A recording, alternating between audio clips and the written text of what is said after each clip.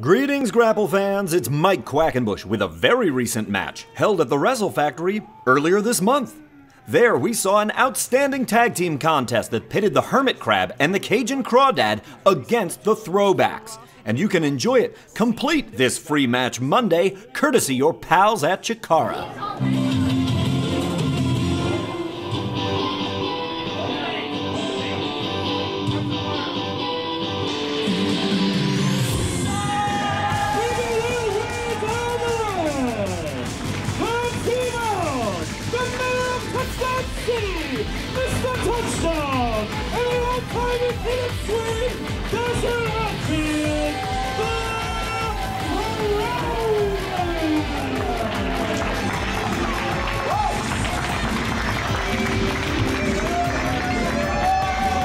Touchdown, Mark Angelosetti and his step cousin-in-law, Dasher Hatfield, the throwbacks. They are former Campeones de Parejas, and I think in particular, today's match will give Dasher Hatfield a chance to set the record straight.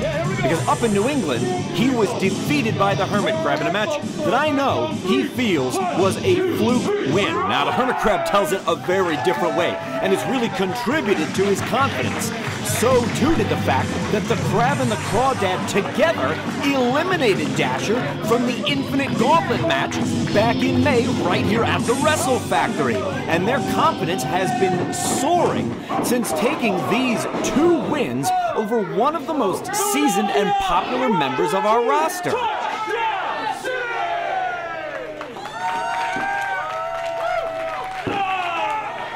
And it's one thing to come into the Wrestle Factory full of confidence because most competitors on the roster do. And you need that to excel in professional wrestling.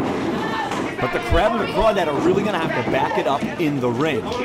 When it comes to tag teams active on our roster, Dasher and Touchdown are about as good as any you are going to come across. And the fact that they're former campeones kind of tells the tale. Dasher Hatfield looks like he wants to start this one out, and that does not surprise me at all, knowing how he feels about the Hermit Crab and the Cajun Crawdad. Dasher is eager to get locked up with the Hermit Crab. He's going to go right behind from that waistlock. Throws an underhanded pitch into the sternum of the Hermit Crab. And he's going to keep trying to put himself in a position to avoid the pincers Crab loves to exploit pressure points. So does his tag team partner. And look at this. I think Dasher's going to try and flash on him. He's going to see if he can't steal a win immediately and maybe even embarrass the rookies a little bit. Teach him a lesson. Woo! That back body drop was all power. Sometimes you see that done all form. Sometimes you see it done all leverage. That one was all power. Dasher Hatfield maybe going to go out and surf a little bit. He's got the Romero special. And here comes Mr. Touchdown. Woo, short little bulldog there. The Crawdad had no method of defending against that. All of his limbs were trapped in the Rito Romero special, La Tapatia as it's sometimes known. There was no way he could protect against that bulldog of Mark Angelosetti. And now it's the very powerful Mr. Touchdown, graduating from an arm wringer to a hammerlock to a side headlock, but it's the Crawdad who tried to push his way out and couldn't do it. Angelosetti too strong. Belly to back suplex, Angelosetti still hasn't let go of that headlock. You can drop him flat on his back, but Mr. Touchdown is simply so powerful, especially in the upper body. It's going to take more than that to get out of that side headlock. Finally, the Crawdad is free but he is not in control. Woo! Great counter wrestling on the part of the Crawdad. Had that one well scouted. Angelosetti's favorite is that splash. All he had to do was bring his knees up, contacted the midsection and probably the short ribs of Angelosetti. It'll drive the wind out of your lungs. How quickly the pendulum in this one has swung in the favor of the Crab and the Crawdad. Earlier you heard me allude to the way he likes to exploit pressure points. That is precisely what the Hermit Crab just did.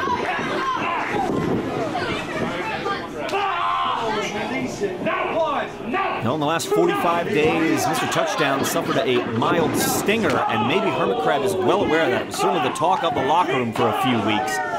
Picking up a win over somebody like Mr. Touchdown is a huge feather to be put in your cap, and we saw at Aniversario, a couple very talented competitors tried, and they could not get the better of Mark. Double hip toss to the throwbacks. We're going to put together some of their famed tandem offense. Look at this, double headbutts. Gonna string him up. What's he looking for? The Mexican rolling pin. Hermit Crab came out the back door. Dasher Hatfield has really had good success in this match by smothering his opponent. What I mean by that is keeping the offensive moves on top of each other so they don't have a chance to catch their breath. Solid shot to the midsection, stopped the Hermit Crab right in his boots.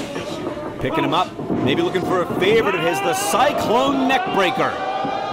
No, Hermit Crab snuck right out. He got away from it. Hermit Crab making the switch. Woo! Took him up like a vertical suplex, but brought him down like a neck breaker, and the back of Dasher's skull hit his knee. That's a rough way to come down from that position. Hermit Crab rids the ring of Mark Angelosetti to clear the way for Cajun Crawdad's favorite combination. This is a gator roll. Front rolled headlock. He uses this to disorient his opponents, puts him right in the middle of the ring. Take a look at this move from the Crawdad. Screw underneath. Setting up the Hermit Crab for his pet maneuver. The second rope crab walking elbow follows the underscrewed suplex. Dasher had the good sense to get out of dodge. Hermit Crab swung wild. Angelosetti gets stopped in the dead center of the ring. Both these teams are really wrestling outstanding contests back and forth. What are they thinking here? Oh, look at how Touchdowns countered this one. Very smart move on the part of Mr. Touchdown. There is no way he could be suplexed from that position.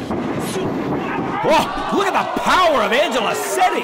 He just drove two tackling dummies back into the corner, and those dummies were named Crab and Crawdad. Woo! Mark Angelosetti's a one-man wrecking crew today.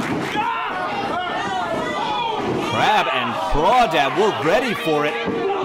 Third time was not the charm for the exploding of that pressure point. Man, Dasher just sent Hermit Crab crashing out of the ring.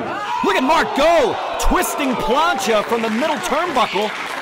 Dasher Hatfield's ready to add to the pile. He loves that baseball slide.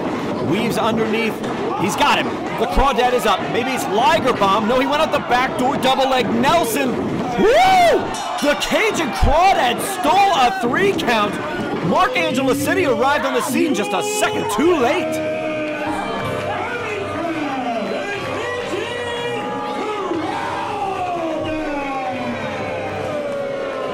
The Crab and the Crawdad have really made a statement here at the Wrestle Factory. Maybe it was no fluke. This is the third time they've gotten the better of the old-timey King of Swing.